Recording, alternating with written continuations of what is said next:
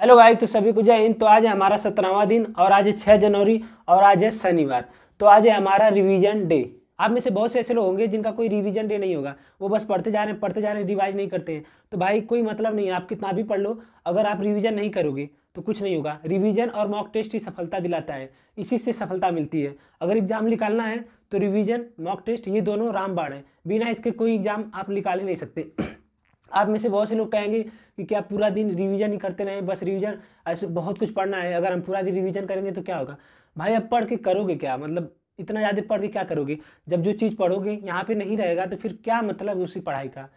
मैं अपना बता रहा हूँ, जो मैं पढ़ाई करता हूँ तो सुबह पढ़ाई शुरू से करने से पहले मैं पहले रिवीजन करता हूँ, तीस से चालीस मिनट जो कल पढ़ा था, उसका रिवीजन करता हूँ। उसके बाद जब शाम को सोने से पहले भी जो आज पढ़ा है, उसका रिवीजन करता हूँ। और उसके बाद सैटरडे को रिवीजन करता हूँ संडे को भी रिवीजन करता हूँ। मतलब इतना रिवीजन जितना रिवीजन करेंगे, आप उतना ही अच्छा रहेगा। पढ़ने से तो सभी पढ़ रहे हैं, भाई, तीस से पैंतीस लाख फॉर्म पढ़ रहे हैं, लेकिन होना तो साठ हज़ार का ही है। तो जो रिवीजन करेगा मॉक टेस्ट अच्छा से लगाएगा, उसी का होना ही है। आप पढ़ के क्या करोगे भाई, इतना मतलब कि जब यहाँ पे रहेगा ही नहीं। तो रिवीजन बहुत ज़रूरी है। तो आज शनिवार के दिन हम केवल रिवीजन करते हैं। तो अब पता कैसे चलेगा कि आज हमें क्या क्या रिवीजन करना है? तो ये डायरी इसीलिए बनाया है कि हमें पता चल जाए कि इस हफ़्ते में हमने क्या क्या पढ़ा है। तो उसका रिवीजन यहाँ पे कर लेंगे।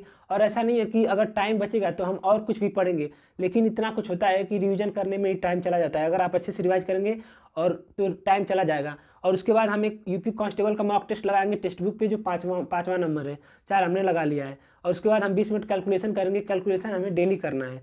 और उसके बाद हमने स्टैटिक में इस हफ़्ते फरवरी और मार्च के दिवस याद कर लिया है तो उनको अच्छे से कंठस्थ कर लेंगे ताकि वो कभी भूले ना। तो बस यही है, भाई की रिवीजन और मॉक टेस्ट यही सफलता की कुंजी है, मेरे हिसाब से।